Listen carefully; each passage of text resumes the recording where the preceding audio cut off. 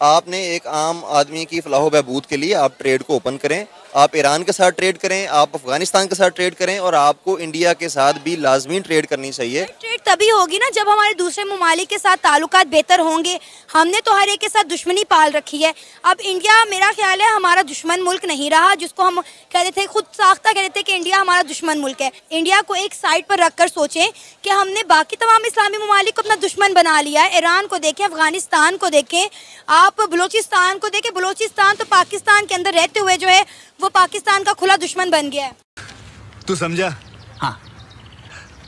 नहीं तू समझा नहीं।